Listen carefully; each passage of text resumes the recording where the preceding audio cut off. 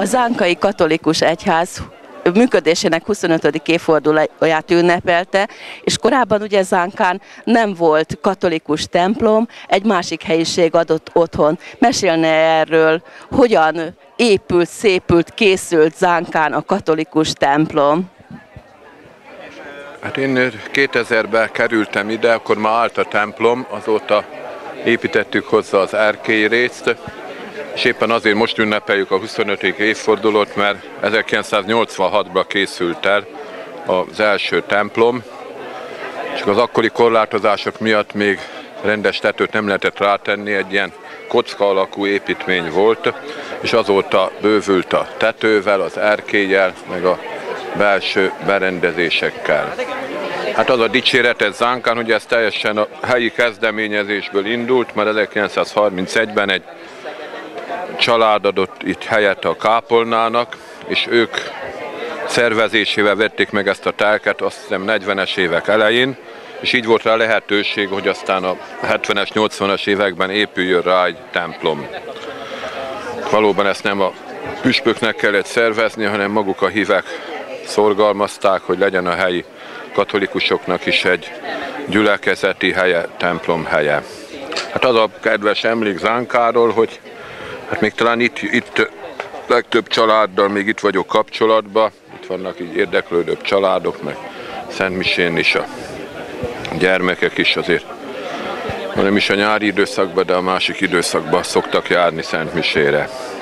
Fiatalok a katolikus közösségbe járnak-e? Hát nem sokan járnak, pedig hát tartunk itt tanórákat az iskolába, talán jobban kapcsolatba kellene kerülni a fiatal szülőkkel, gyermekeken keresztül, hogy jobban megismerjék a vallásunkat, és hát kedvüket találják, vagy kedvüket lejjék abba, hogy a templomba eljöjjenek, vagy szent dolgokkal foglalkozzanak. Hát ez még a missziós feladataink közé tartozik a zánkai fiatal családoknak is a megközelítése, meg a megszervezése.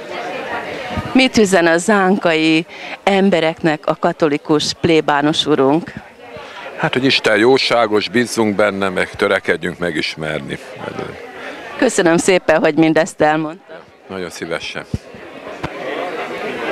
A délelőtti Szent Misén a Marosszéki Cigler Emil és családját plébános úr említett. Nagyon sokat tettek, hogy Zánkán katolikus templom épüljön.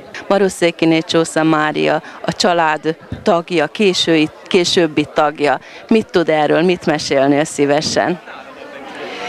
Éppen a kezemben tartom azt a kiadványt, amit összeállítottunk Strób Gáborral, és megjelentettünk, hát kettő példány összesen a zánkai katolikus hitélet történetéből. Azt mondhatom, hogy a Marocéki család, a Marocéki Cigler család, mert eredetileg ez volt a nevük, 1927-ben kerültek Zánkára. Az egész család protestáns volt, kivéve a Paula mamát, a, nagy, a férjem nagyanyját, aki katolikus volt. És ő mindenféleképpen vasárnaponként misére szeretett volna járni, és a családi legendáriumban megtalált, gyűjteményben megtalált levelek alapján ők elmentek Badacsonyba, de mindig késve érkeztek, és el kellett előbb jönni, mert hát a vonat az jött, vagy ment. És akkor azt mondta a Paula néni, hogy amikor majd házat építenek, ez meg is történt, akkor ő egy szobát szeretne katolikus kápolnává felszenteltetni, és a férje azt mondta, aki református volt, hogy természetesen osz be annak a tervrajzon.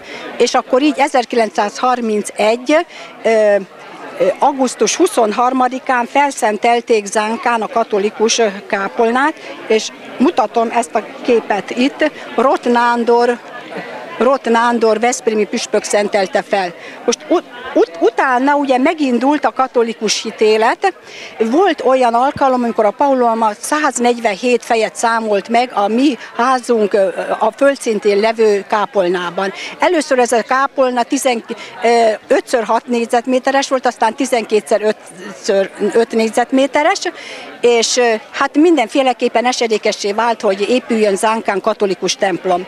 Akkor ezt az itten, ahol most állunk, itt telkek voltak, amit szépen megvásároltak, és gyűjtöttek anyagot, elindult az, or, az országos gyűjtés is, mert ezt belügyminisztéri rendelettel lehetett csak elindítani, hivatalos papíron, pénz is gyűlt össze, de közben jött a háború, és mindent elvitt, és így vegyezi be a Paula néni a a levelét, és így nem lett Zánkán templom. Most teltek, múltak az évek. A mi házunkban, a férjem családi házában volt a templom, ott, ott folyta a katolikus hitélet. Itt van mondjuk egy első áldozás Magyar János plébános úrral, ezt sokan ismerték Zánkán.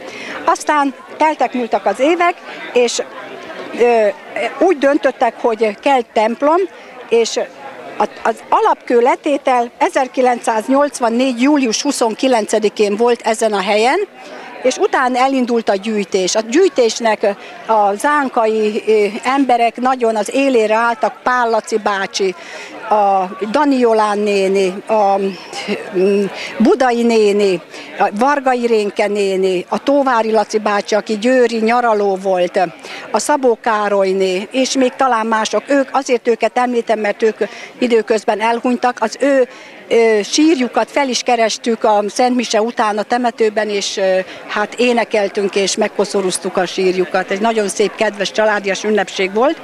És aztán két évig tartott az építkezés, és 1986. augusztus 10-én dr. Szendi József, Veszprémi megyéspüspök felszentelte a jó pásztor katolikus kápolnát. Itt vannak ezek a képek. Facsar Sándor plébános úr is jelen volt, ugye akkor már ő volt a plébános, mert Magyar János időközben elhunyt. Szóval itt volt a Sallai László Balatonakali plébános, és akkor még ebben a kis kiadványban szerepel, hogy a Fatimai szűzanyaszobrot Facsar Sándor plébános úr idejében kapta templomunk, első áldozók és egy hittanos kirándulás.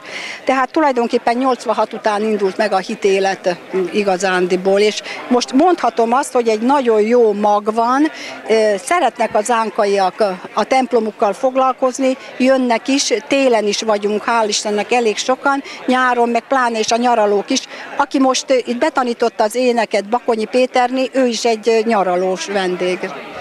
A áttekintő, körültekintő történeti történeti múlt felidézése után mit mondanál a mai tanításról, az egyház mai tanításáról, mit üzen felnőttnek, mit üzen gyereknek? Azt, amit azt mondhatom, hogy amikor én egyszer komoly problémákkal küzdöttem, és kinyitottam a Szentírást, és ezt a mondatot találtam meg, én veletek vagyok minden nap a világ végezetéig.